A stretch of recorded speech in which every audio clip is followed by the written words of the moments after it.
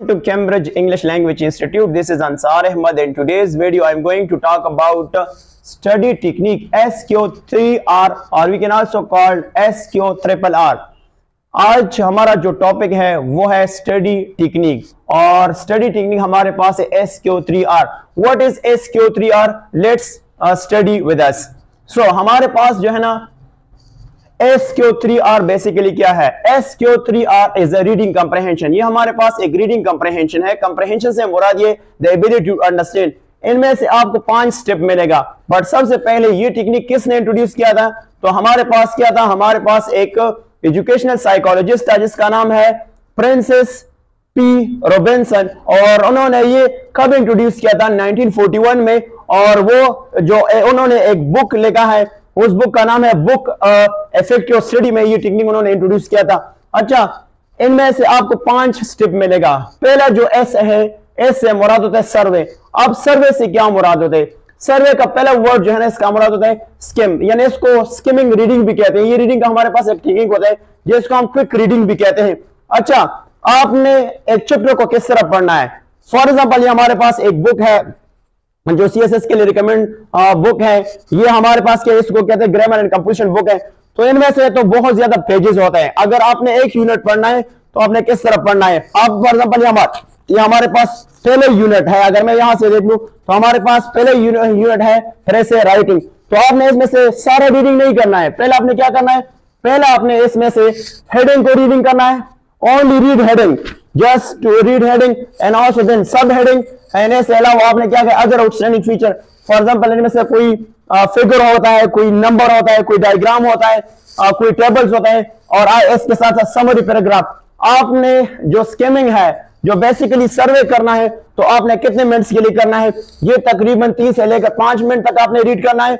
दूसरी बात यह है कि आपने ये आपको क्या देगा? ये आपको एक आउटलाइन देगा या आपको एक फ्रेमवर्क देगा। आपका काम क्या होगा?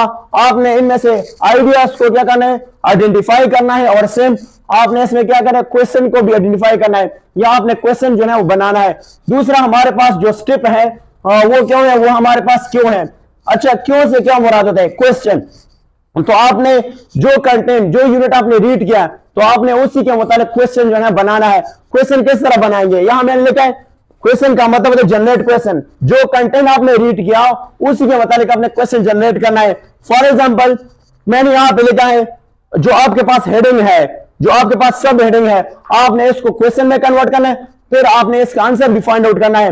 नेक्स्ट हमारे पास आपने कुछ क्वेश्चन पूछना है. कि हमारा क्वेश्चन ये, कि what is this chapter about ये चैप्टर किसके मुताबिक है?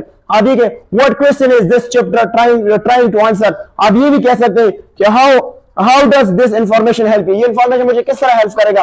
तो ये क्वेश्चन आपने क्या करना है? आपने क्वेश्चन जनरेट करना है। That's why we call what we call question हमारे पास जो थर्ड है थ्री आर से मुराद होते हैं थ्री आर पहला पहला आर का मतलब क्या है? रीड इससे मुराद क्या है? इससे मुराद ये है कि आपके पास जो पूरा यूनिट है, उसको पूरा रीड करें।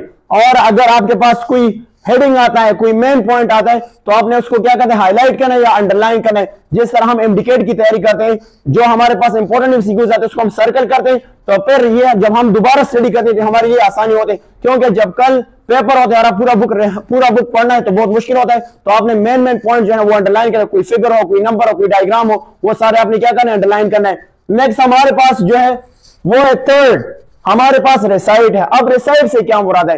रिसाइट से मुराद है कि आपने आ, याद करना है। अब याद किस तरह करेंगे?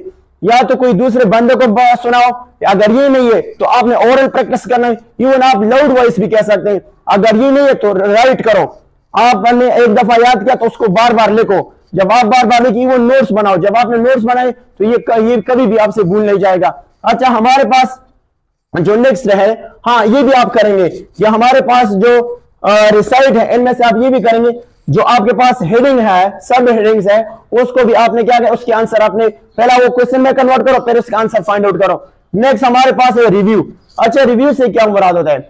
रिव्यू से मुराद ये है कि जो आपके पास कंप्लीट रीडिंग है जो आपने लर्न किया है वो दोबारा करो दोबारा जो है ना फुल जो आपने लर्न किया है वो रिवाइज करो। ये हमारे पास क्या है? ये हमारे पास स्टडी टेक्निक है। If you have any kind of questions regarding the study technique, you can definitely type them in comment box.